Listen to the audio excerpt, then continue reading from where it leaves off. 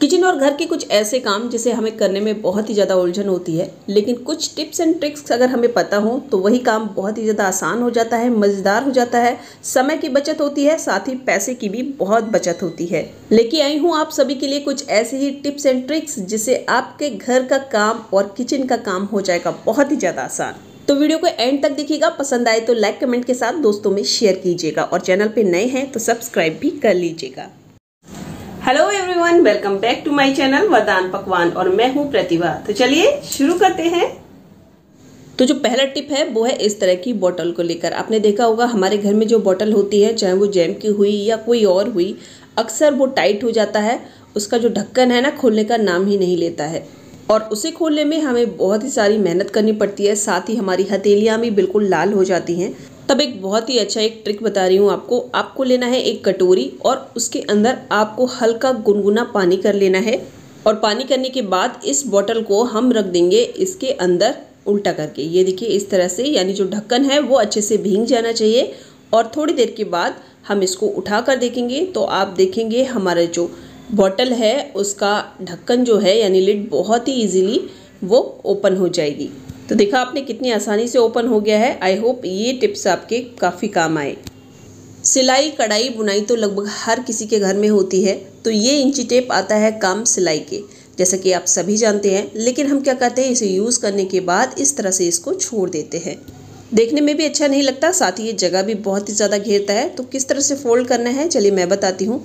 तो इसका ये वाला जो सिरा है ना, इस पर हम क्या करेंगे? इस तरह से एक रबड़ बैंड ले लेंगे और उसको इस तरह से चढ़ा देंगे, ये देखिए। और ये बाकी का जो इंची टेप है ना, इसको हमें फोल्ड कर लेना है। और ये जो रबड़ बैंड हमने इसमें लगाया है ना, वो हमेशा आपको इसी में फंसा रहने देना है। तो ये देखिए, मैंने इसे फोल्ड कर लिया और जैसे ही आप फोल्ड करें तो जो हमने रबड़ बैंड लगाया है ना, इसको उठाकर इसके ऊपर हमें चढ़ा देना है।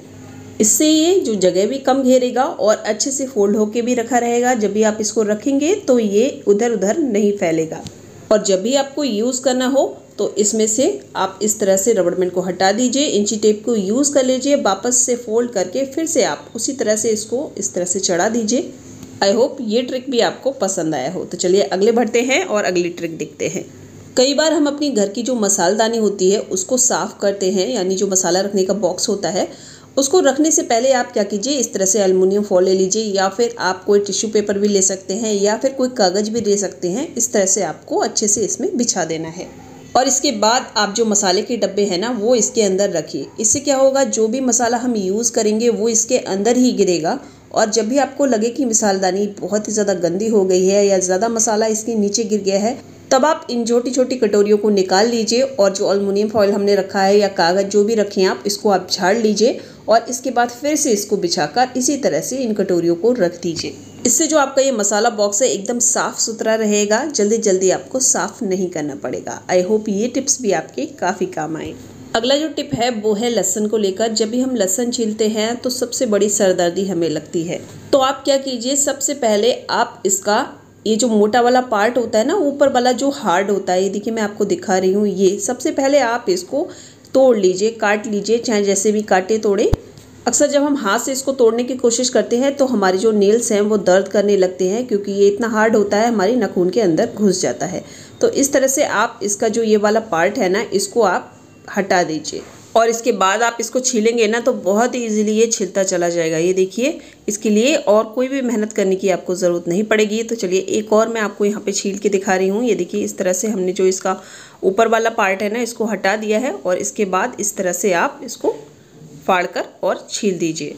आई होप ये टिप भी आपको पसंद आए। तो चलिए देखते हैं अपने बाकी की टिप कई बार हमारे घर में या परिवार में या हम खुद इतनी टाइट अंगूठी पहन लेते हैं कि उसे निकालना बहुत ही ज़्यादा मुश्किल हो जाता है और उसे कटवाने के लिए हमें सुनार के पास जाना पड़ता है, डॉक्टर के पास जाना पड़ता है।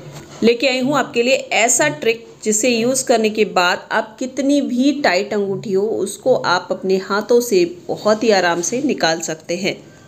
तो इसके लिए आपको इस तरह का प्लास्टिक का धागा ले लेना है और प्लास्टिक का धागा आपके पास नहीं है तो आप ऊन भी ले सकते हैं।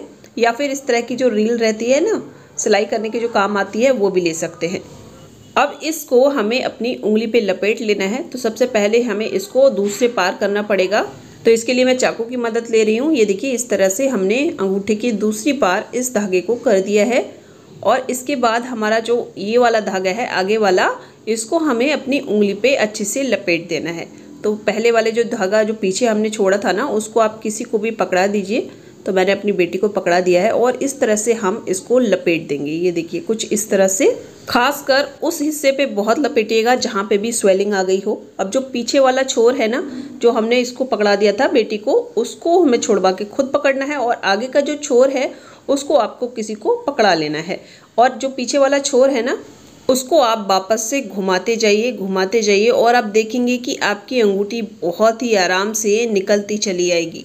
अब आप सोच रहे होंगे ऐसा तो हम साबुन लगा लेते या तेल लगा लेते, तब भी बहुत ही आराम से निकल आती। लेकिन बिल्कुल नहीं निकलती, क्योंकि जब हम टाइट अंगूठी पहन लेते हैं तो हमारी जो उंगली होती है ना, सूज जाती है, स्वेलिंग आ जाती है उसमें। और इस तरह से धागा बांधने से आपकी जो स्वेलिंग है ना, वो कई हिस्सों में बढ़ जाती है और जिससे आपकी अंगूठी बहुत ही आराम से निकल आती है। तो ये तो किसी की हेल्प लेके आप कर सकते हैं। अगर आपके पास कोई भी ना हो, अकेले आप हों और तब किस तरह से निकालना है, वो भी मैं बता देती हूँ। तो ये देखिए, रील का जो धागा है, वो लिया है मैंने। और सेम वैसे ही हमें फिर से इसको इस अंगूठी के पार पहुंचाना है तो इसको यहाँ पे डालने के लिए मैं फिर से चाकू की मदद ले रही हूँ। और ये बिल्कुल मैं अकेले ही करूँगी मतलब किसी की हेल्प नहीं लूँगी मैं। तो ये देखिए, इस छोर को हम अंगूठी से पकड़ लेंगे और वापस से फिर से इस तरह से हम इसको लपेट देंगे अपनी उंगली पे। ये देखिए, कई खानों में हमारी जो उंगली है वो बट गई है और देखिए, इस तरह से आपको करना है। तो पहला वाला छोर आपको बिल्कुल भी छोड़ना नहीं है और दूसरा वाला छोर इस तरह से घुमाते जाइए। बहुत ही बढ़िया तरीका है। दो लोगों की अंगूठी मैं इस तरह से निकाल चुकी हूँ, इसीलिए मैं आपके साथ ये शेयर कर रही हूँ। कितनी भी टाइट अंगूठी हो, वो आराम से इससे निकल जाती है। ये देखिए, कितने आराम से निकल आई। फ़िलहाल मेरी तो ये ज़्यादा टाइट नहीं थी और देखिए, इस तरह के निशान पड़ जाएँगे तो इससे कोई टेंशन लेने वाली बात नहीं है थोड़ी देर में सही हो जाएँगे। आई होप आज के सभी टिप्स एंड ट्रिक्स आपको बहुत पसंद आएँगे कौन सा सबसे ज़्यादा पसंद आया है कमेंट करके ज़रूर बताइएगा। Bye bye everyone and thanks for watching